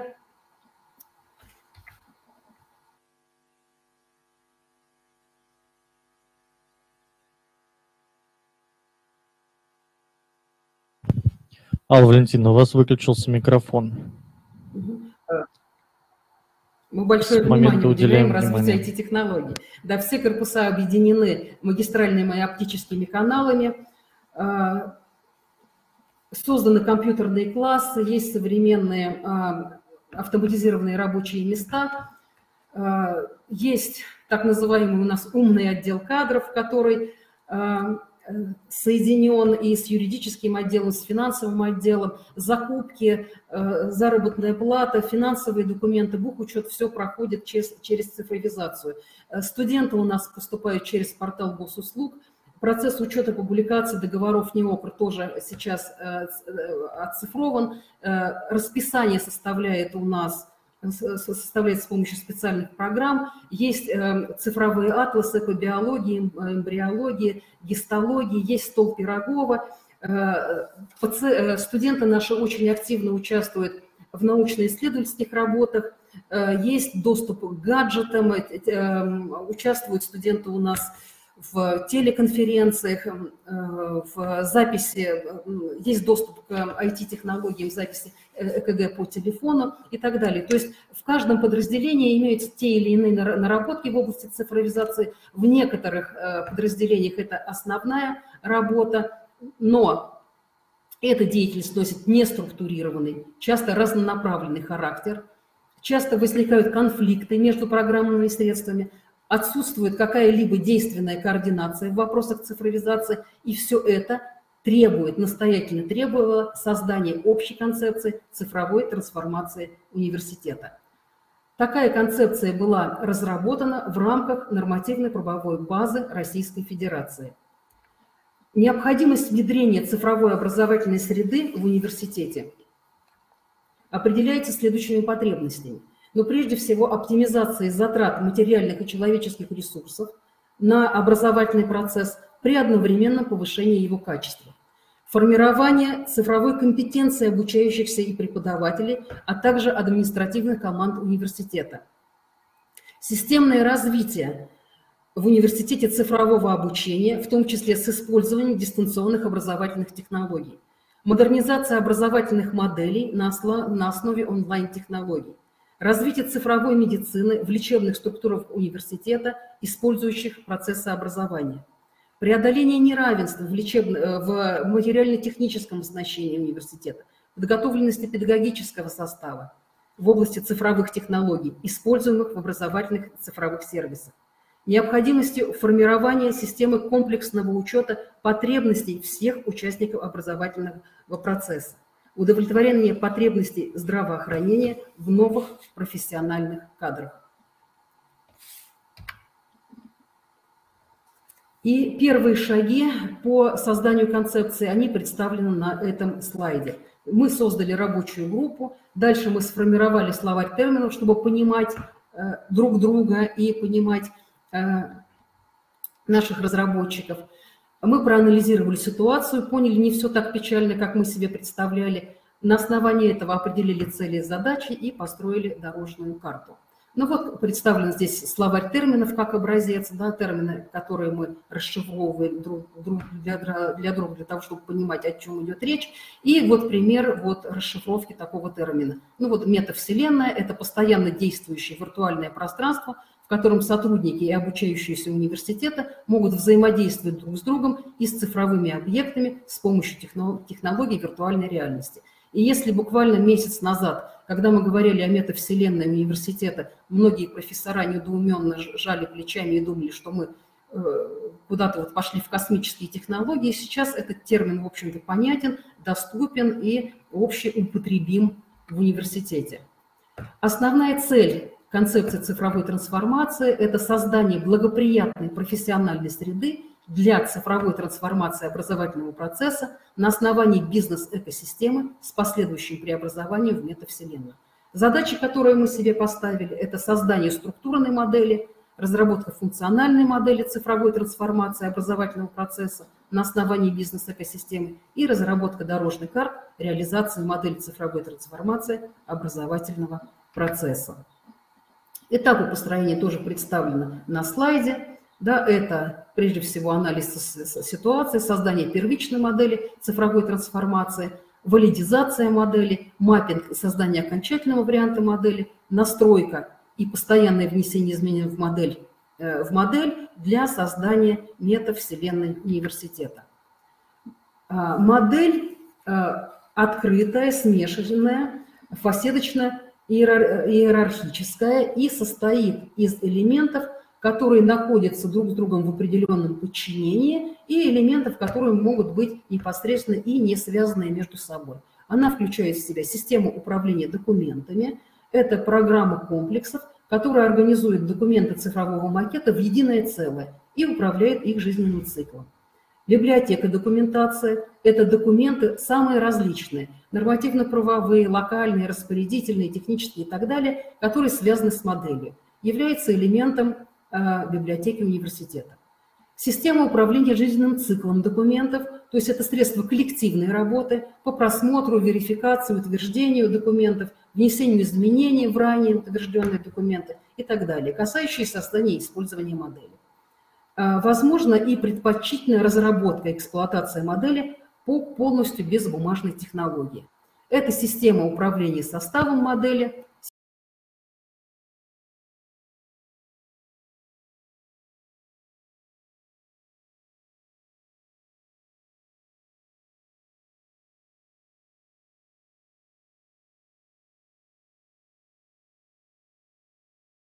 Я прошу прощения. А,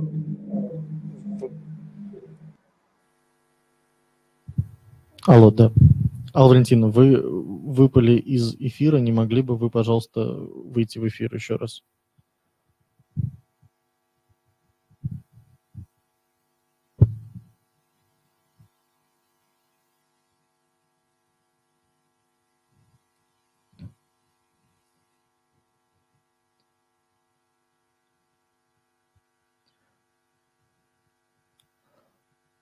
Алла Валентиновна, нажмите, пожалуйста, наверху «Выйти в эфир» и начать вещание. Почему-то прервалась.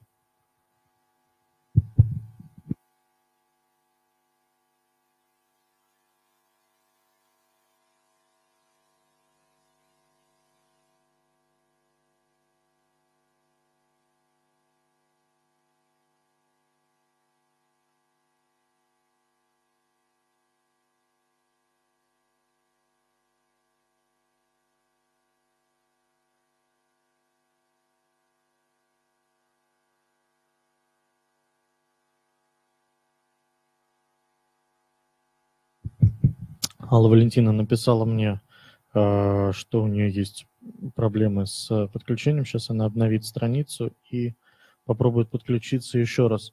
Э, я пока могу немножко э, расшифровать термин метавселенная, который Алла Валентина неоднократно использовал, а он на самом деле у многих вызывает еще пока недопонимание. Эм, Алла Валентина, нужно выйти в эфир и начать вещание, рыжую кнопку.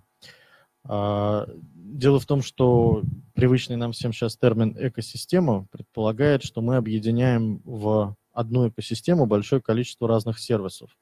Но чем больше сервисов мы объединяем, тем сложнее человеку становится в них разбираться, потому что в каждом сервисе свой интерфейс, свои вводные поля и данные.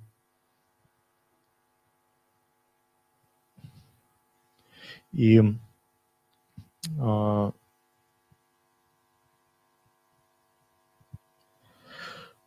и человек начинает уже теряться. То есть если там молодой интересующийся человек, а, вот я там постоянно хожу с гаджетом в руках, конечно, я там понимаю интерфейсы, и то иногда я, бывает, захожу в какое-нибудь приложение, начинаю в нем тонуть, потому что я не понимаю, где чего, куда нужно нажимать.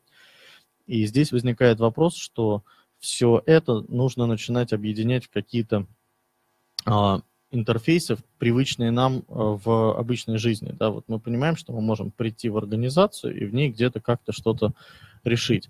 И вот э, здесь есть такая идея, что создание именно метавселенной, то есть пространства, в которое человек как бы виртуально может войти и начать там какое-то взаимодействие, оно упрощает доступ ко всем этим технологиям, а как мы с вами понимаем, упрощение доступа, оно ускоряет развитие.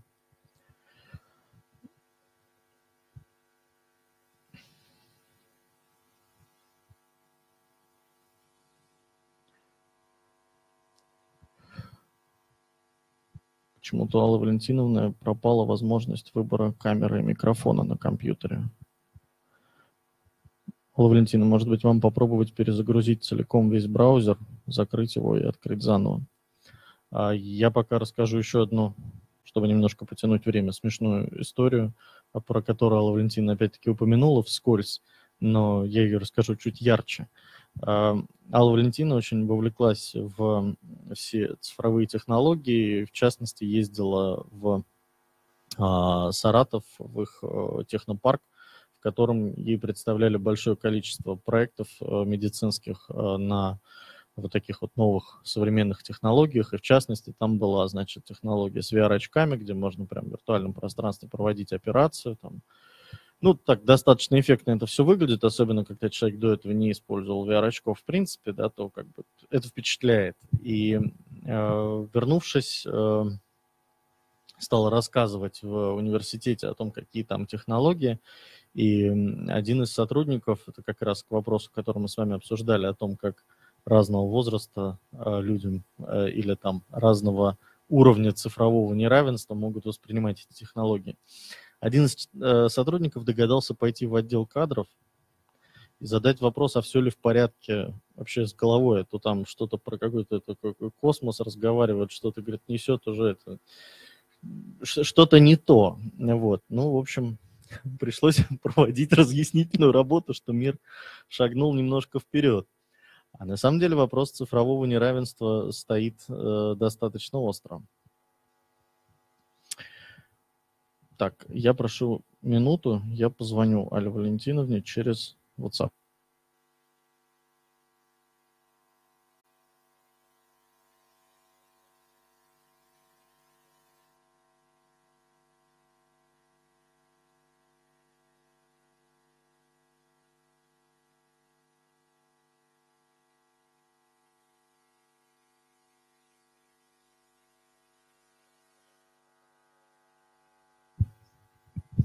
Да, я включу тогда громкую связь и поднесу микрофон.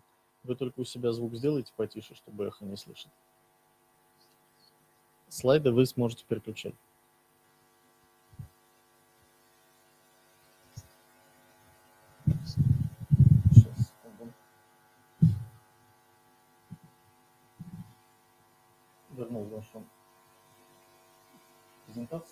Современные проблемы требуют современных решений. Алла Валентина, выключите, пожалуйста, у себя звук на компьютере и говорите в телефон. Так, модель бизнес-экосистемы состоит из следующих структурных функциональных элементов. Цифровой ректорат и деканат. Это взаимосвязанные решения, в рамках которых объединяются функции ректората университета и деканата из функции единого окна и служат для получения информации о преподавателях, обучающихся, основные темы обучающие, расписание занятий, формирование зачетных экзаменационных ведомостей и так далее.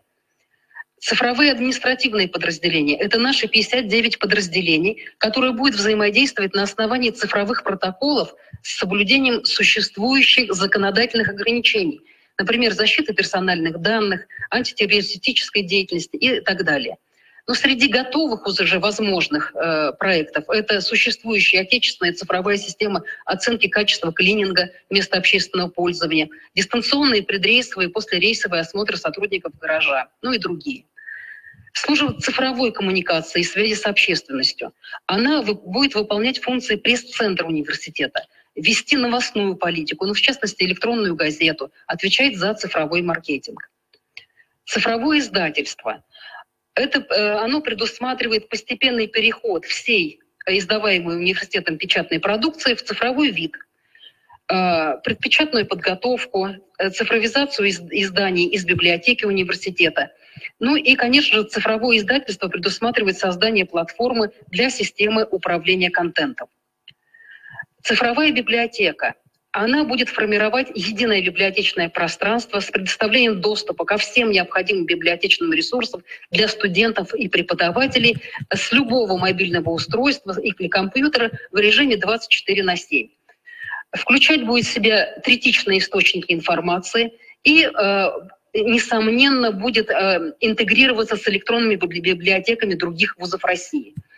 Э, мы планируем, что в библиотеке будут не только э, литература, но и макро- и микрофотографии, макропрепараты в режиме 3D, фото- и видеоматериалы, а, видеофильмы отдельных процедур, операций, осмотров, исследований и так далее. И в том числе с использованием методологии метавселенной.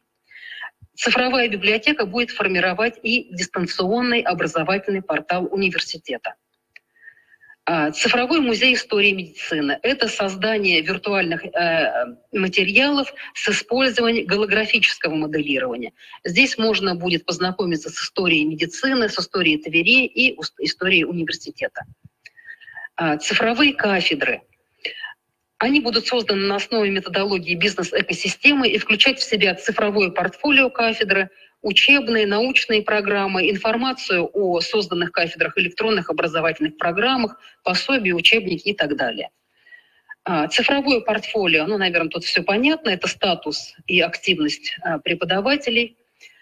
Цифровой медицинский центр – это одна из баз для практических занятий обучающихся и демонстрации современных информационных систем здравоохранения, включая медицинскую информационную систему, правила защиты информации, ее накопления, обработки, симптом-чекеры, в том числе с искусственным интеллектом, а, системы распознавания образов, электронные справочники, системы поддержки принятия врачебных решений, ну и так далее.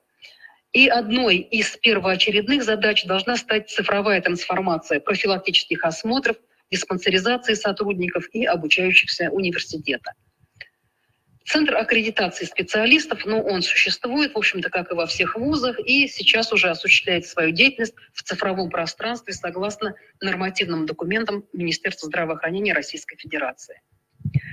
Цифровой паспорт университета формируется в режиме э, онлайн и включает в себя электронную информацию по оборудованию, программному обеспечению, знаниям и умениям персонала.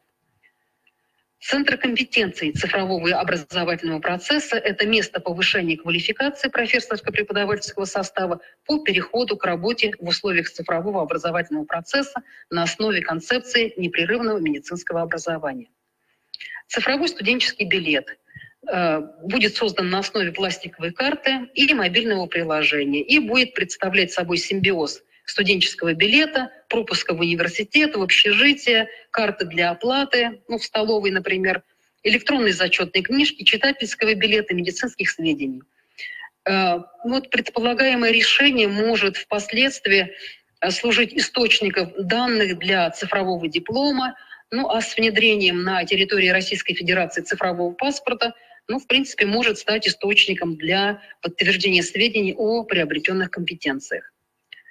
Цифровая ведомость – это цифровое решение классической ведомости, которое будет дополнено набором данных, представляющих собой сведения о необязательных курсах, каких-то элективах, которые прослушал а, обучающийся, об его, о его активности, участии в научно-практических, волонтерских мероприятиях, победах и достижениях. Э, цифровая ведомость э, будет интегрирована с цифровым студенческим билетом и может быть реализована в виде блокчейн-решения и являться составляющей, э, составляющей цифрового следа обучающегося. Цифровой маркетинг – это формирование новых маркетинговых стратегий на основе современных подходов с развитием в направлениях выхода на новые рынки, расширения ассортимента образовательных услуг, сотрудничество с другими организациями на взаимовыгодных условиях. Система управления пунктом общественного питания в университете – это набор услуг, связанных с организацией питания в ВУЗе. А, то есть любой желающий может в любой момент через приложение увидеть ассортимент блюд, посмотреть э, БЖУ, посчитать калории, выбрать себе правильное или неправильное любимое питание, а, оплатить, выбрать э, меню, получить уведомление о факте формирования этого меню, проследить за тем, как э, готовится пища, оплатить и в определенное время получить тот набор продуктов, который он желает. Цифровое общежитие. Здесь э, будут включены все вопросы, которые касаются общежития, начиная от расселения, ну и заканчивая вопросами самостоятельной учебы, доступа к серверам и каким-то мероприятиям, которые проводятся в, в общежитии или в университете. Так, не листается у меня следующая страница.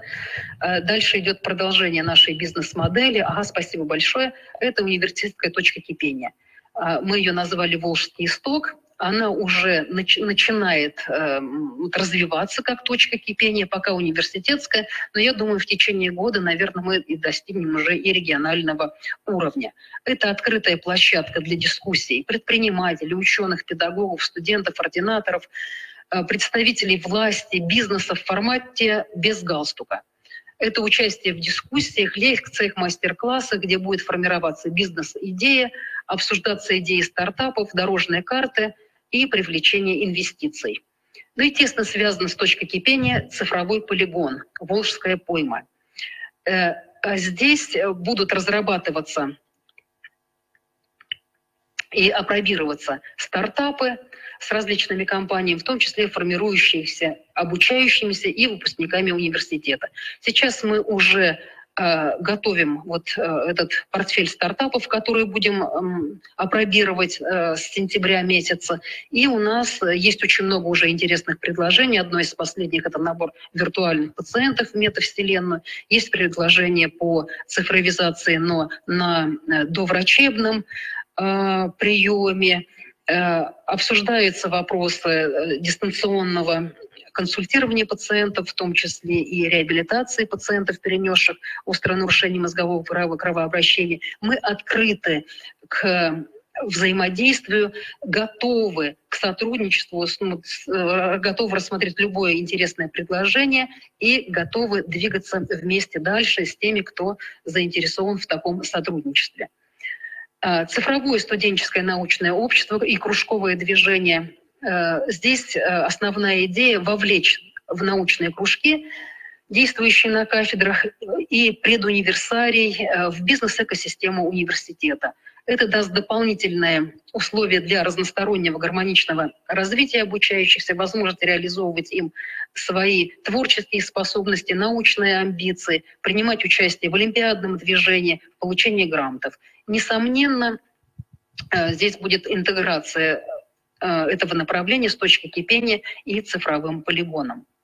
Метавселение Андрей Павлович много рассказал о ней. Действительно, это абсолютно новые фантастические возможности для образовательного процесса, когда и студенты, и преподаватели могут вместе оперировать в виртуальном пространстве, ставить диагноз, э, рассматривать э, интересных, интересных больных и решать реальные медицинские кейсы. Вот. Но для э, разработки конкретных вот этих кейсов необходимо создание лаборатории по моделированию контента для виртуальных пространств и новых образовательных объектов. По мере накопления таких кейсов и будет формироваться метавселенная университета. Система управления образовательным процессом – это оптимизация контакта преподавателя и обучающегося. И э, именно здесь будет составляться и строиться индивидуальный образовательный трек для обучающегося с использованием задач на самоконтроль, возможности повторять материал, отслеживать уровень освоения материала и приобретенных компетенций. Онлайн-курсы и размещение их на российских платформах. Это тоже одна из первоочередных и независимых задач университета – Университет разрабатывает программы образовательные, создает цифровые копии программ для цифровой среды с использованием современных технологий записи образовательного контента. Цифровой диплом – часть цифрового портфолио обучающегося, где постепенно формируются и учитываются результаты обучения. И этот цифровой диплом будет содержать разделы знания, умения, навыки с указанием конкретных позиций и степени приобретенной компетенции. Сбор и анализ цифрового следа обучающегося. Это данные об учебном опыте или цифровые следы, которые позволяют анализировать каждый шаг развития обучающегося, подстраивать его учебную программу лично под него. Возможно изучение поведения обучающегося в цифровом пространстве с целью выявления его характерных черт, в ходе диагностики исследуется действие человека в сети интернет, связанное с применением устройств передачи данных, данные о посещаемых интернет-сайтах, открытых и созданных файлах, личных сообщениях, комментариях, видео и фотографиях. А, цифровая трансформация процессов профориентации и трудоустройства обучающихся. Тоже очень важное направление. Буквально в пятницу у нас была ярмарка вакансий, которая традиционно была в традиционном таком формате. В конце года к шестикурсникам приехали работодатели, а приехало их более 50 человек.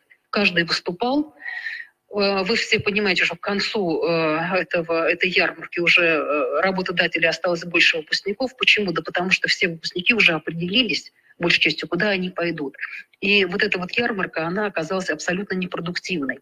И именно тогда мы вот поняли, что, наверное, одно из самых важных направлений, с которого нам надо начинать, это вот это, это цифровизация вот этой ярмарки вакансий. Она должна действовать круглогодично, она должна быть э, в личном кабинете, каждого обучающегося. Каждый обучающийся должен иметь выход э, к тем рекламным роликам, видеофильмам и э, информации работодателей. Он должен понимать э, те льготы, которые ему будут предоставлены, выбирать именно ту профессию и специальность, которая ему больше нравится, и без цифровой вот такой трансформации этого процесса ну, невозможно вот, решить нам вопросы рационального трудоустройства. И э, один, один из таких вот последних, но э, э, не, не по значимости да, разделов – это аналитические дишборды. Конечно, это обязательный компонент всех разрабатываемых программных продуктов в рамках цифровой трансформации образовательного процесса. Э, и они будут содержать, конечно, и описательную, и метрическую информацию. Улучшать мы можем только то, что у нас оцифровано. Без этого не будет движения вперед. А, финансирование нашей модели цифровой информации мы планируем за счет а, бюджетного финансирования, перераспределения текущего бюджетного финансирования за счет средств обязательного медицинского страхования, дополнительных внебюджетных средств, а, которые будут от, привлечены от платных услуг, грант, проектов и благотворительных средств. При реализации каждого элемента модели цифровой трансформации предусмотрено его бюджетирование с указанием источника и э, объема финансирования.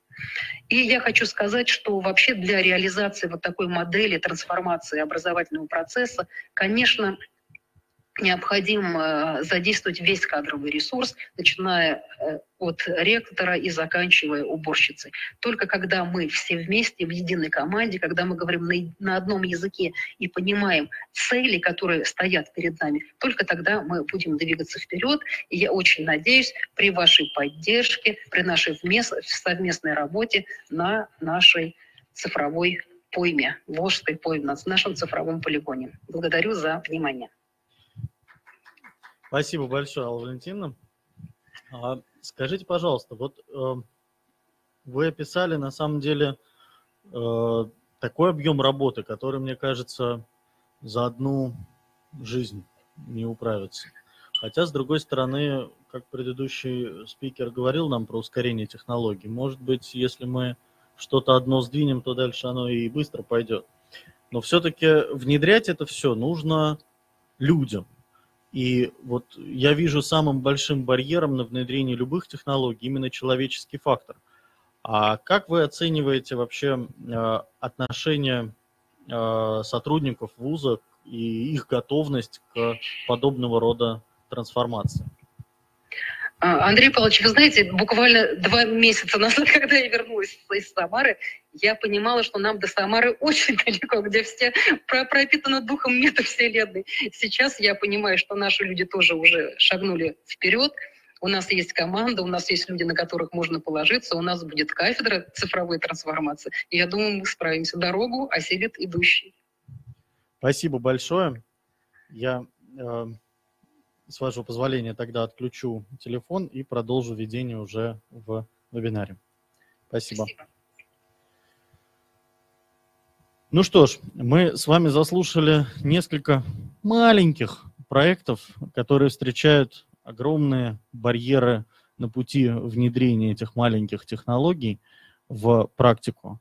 А Алла Валентиновна представила нам э, то, что на самом деле предстоит совершить, и это, на мой взгляд, гораздо сложнее, чем каждый проект по отдельности. Но с другой стороны, а, именно наличие вот таких, э, я не знаю, уместно ли здесь это назвать, институтов внедрения, а, именно и позволит начать двигать технологии. Потому что мы с вами все время боремся, именно боремся с текущими специалистами, мы пытаемся убедить врачей работать по-новому пытаемся их заставить. И вот мы сегодня как раз с ЦЕРМом обсуждали, а, как решается кадровый вопрос, ведь врачи должны сопротивляться, отказываться внедрению таких технологий. И вы знаете, он очень интересный дал ответ. Он говорит, когда мы занимались цифровизацией старого корпуса, то да, было сложно, потому что многие отказывались и не хотели на все это дело переходить. Но потом у нас появился новый корпус, который стал новой организацией. И вот в эту новую организацию мы набирали новых людей. И новых людей мы набирали уже сразу на новые технологии. Если они не готовы в них работать, они просто не принимаются на работу. И это очень интересно продемонстрировало то, что мы э, должны создавать и воспитывать сейчас новое поколение врачей не по тем старым технологиям, которым э, уже больше ста лет, наверное, скоро, а начинать выращивать новое поколение людей, которые, я бы так осторожно сказал, мыслят по-другому. И если нам удастся это провернуть, если Али Валентиновне удастся хотя бы маленькую долю всего того, что мы запланировали реализовать, это будет на самом деле огромным шагом в развитии цифровых технологий в медицине.